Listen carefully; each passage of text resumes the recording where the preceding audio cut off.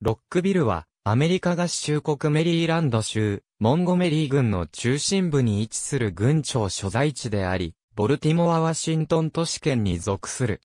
メリーランド州では、ボルティモアとフレデリックに次いで3番目に人口の多い都市であり、2010年国勢調査で、の人口は6万1209人である。ロックビルは隣接するゲーザースバーグやベセスダと共に、週間高速道路270号線技術回廊の中核であり、多くのソフトウェア会社やバイオテクノロジー会社の他に、連邦政府の施設もある。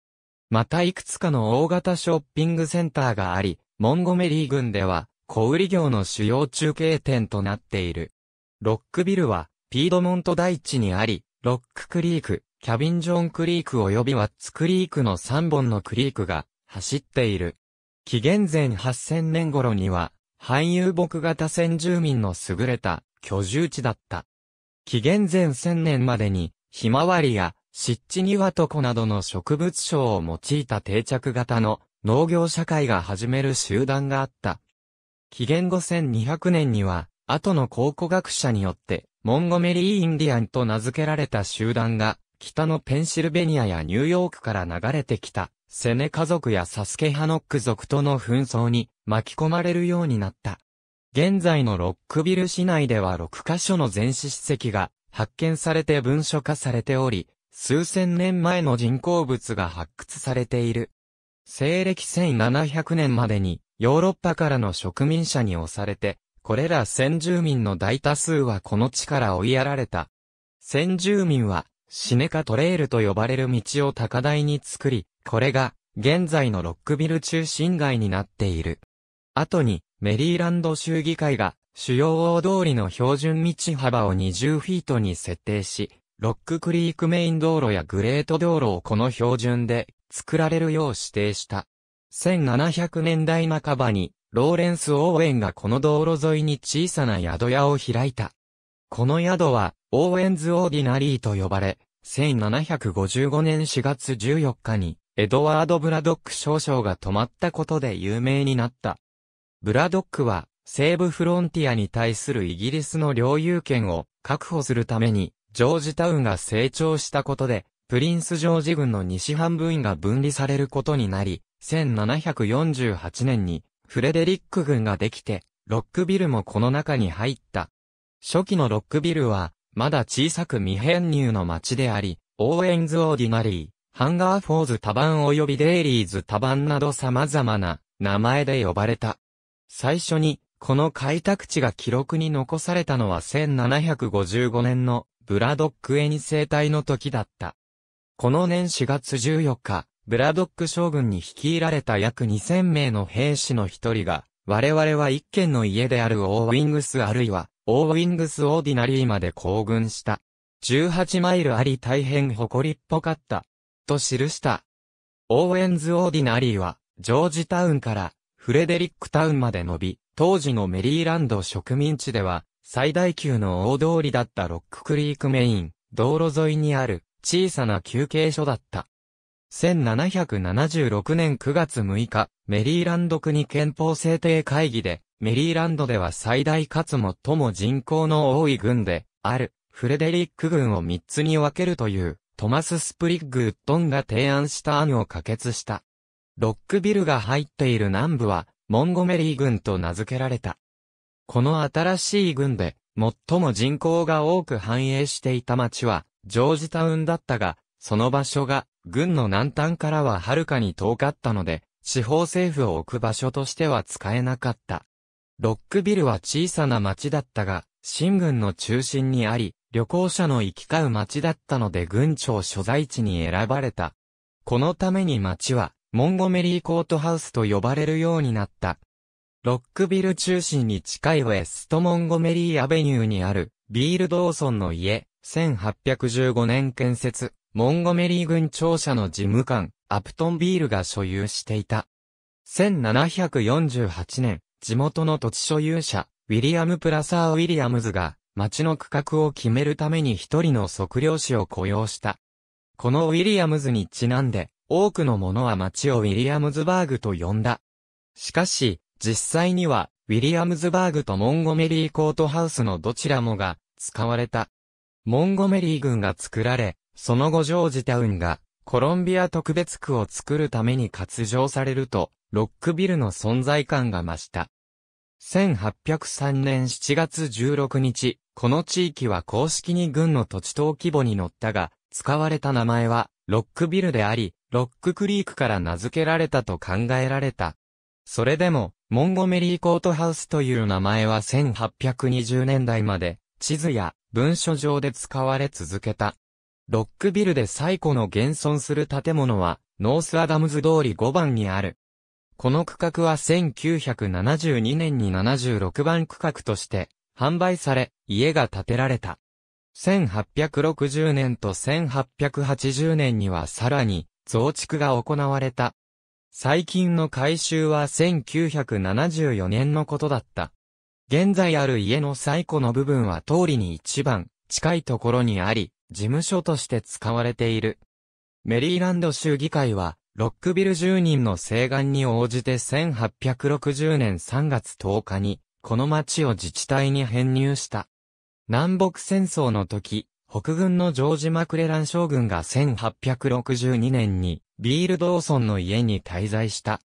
さらに南軍の J. イービス・チュアート将軍と8000名の南軍騎兵隊がゲティスバーグに向かう途中の1863年6月28日に行軍してきて、ロックビルを占領し、スチュワートは、プリティマンの家に泊まった。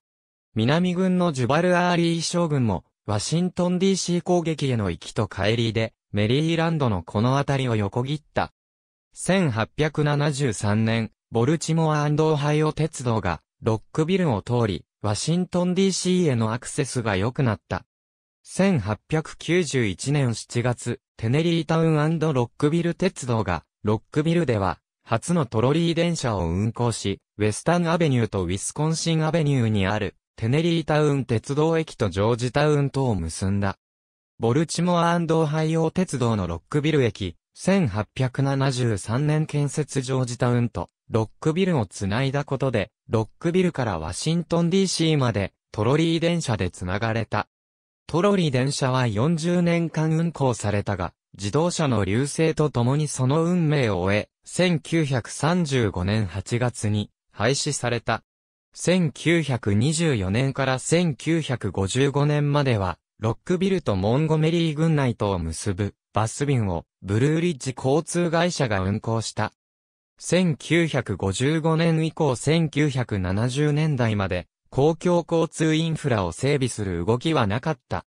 その後、ワシントン都市圏交通公社が、ワシントンメトロをロックビルまで延伸し、モンゴメリー郡内にはメトロバスを運行した。ワシントンメトロのロックビル駅は1984年12月15日に営業を開始した。メトロバスは1979年に運行を開始したモンゴメリー郡独自のライドオンバスで補われた。メリーランド州の通勤鉄道であるマークがそのブランズウィック線をロックビルまで運行した。マークはロックビルから南にワシントン DC のユニオン駅、北にはフレデリックやマーティンズバーグ、さらにはその中間点とを結んだ。アムトラックはロックビルからシカゴやワシントン DC とを結んだ。F. スコット・フィッツジェラルドが1940年12月に死去した時、ロックビルユニオン墓地に埋葬された。冷戦期間、ワシントン DC への仮想核攻撃の時に市内を開けるよりもロックビルに泊まる方が安全と考えられた。グレンビュー邸宅の最大のものほか15カ所に防空壕が建設された。週間高速道路270号線は緊急用飛行場として考案された。1970年代半ばにはナイキミサイル発射場2カ所がマッディブランチ道路とスヌーファー学校道路沿いに設けられた。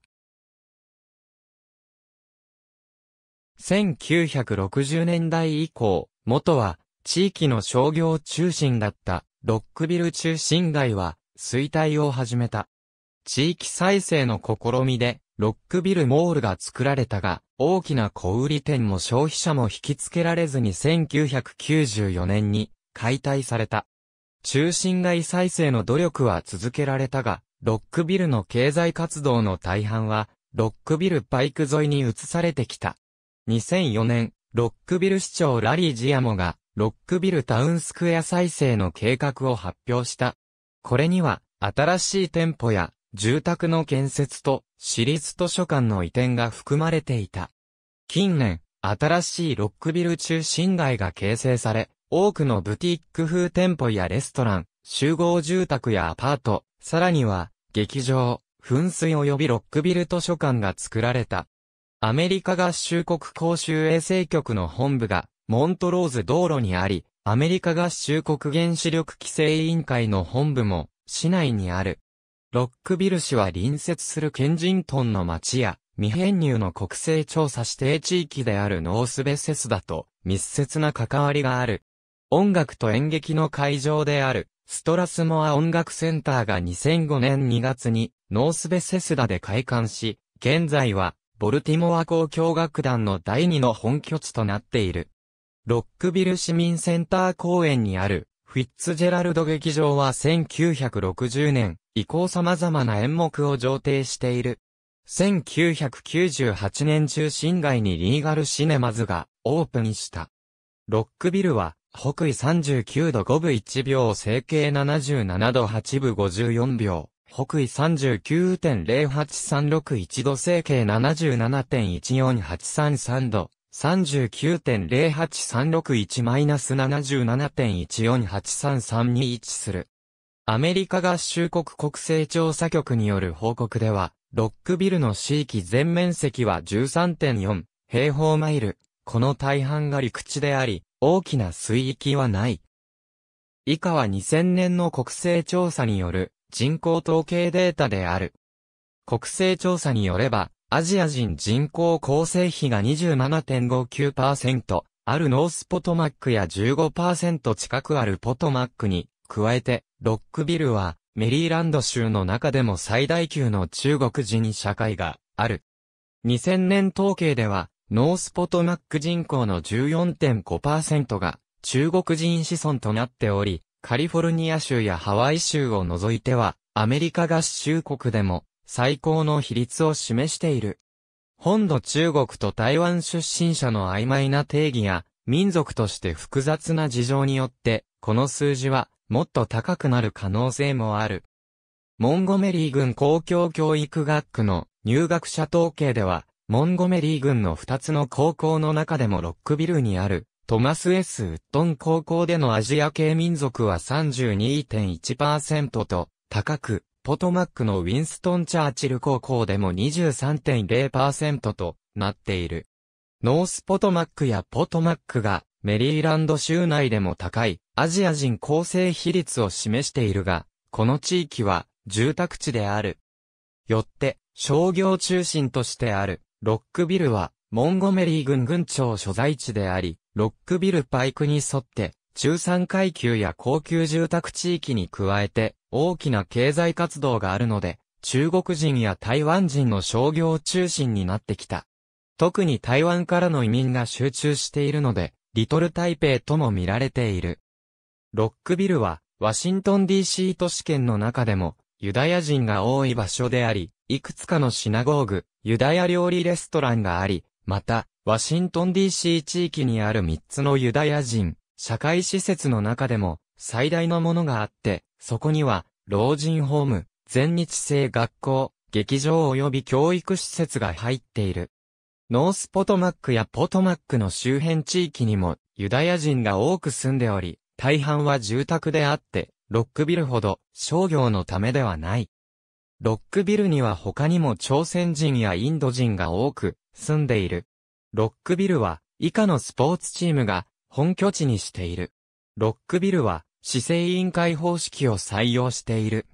現在のロックビル市長はフィリス・マーカッチオである。2009年11月22日に就任した。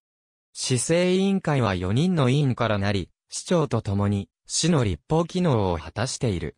シティマネジャーが次の部局を管轄している。警察業務は、ロックビル市警察局が行い、モンゴメリー郡警察局の支援を受けている。ロックビルの公共教育は、モンゴメリー郡内公共教育学区が管轄している。高等教育機関としては、モンゴメリーカレッジのロックビルキャンパス、メリーランド大学ユニバーシティカレッジ、及びジョンズ・ホプキンス大学のモンゴメリー郡キャンパスがある。また、メリーランド州で公立の学位認定施設9カ所が共同するユニバーシティズ・アット・シェイディ・グローブの本部もある。アムトラックとマーク・ブランズウィック線のロックビル駅は、サウスストーンストリートアベニュー307にある。ロックビル駅に停車するアムトラックの列車は、以下の通り。ロックビル駅に停車するマークの発着路線は、下記の通り。ワシントンメトロのレッドラインのロックビル駅と、ツインブルック駅が所在している。ロックビル駅は、ハンガーフォードドライブ沿いパーク道路に近いところの、ハンガーフォードドライブ251にある。ツインブルック駅は、ロックビルパイクと、ハルパイン道路の近くチャップマンアベニュー1600にある。ロックビルは2つの都市と、姉妹都市提携を結んでいる。ありがとうございます。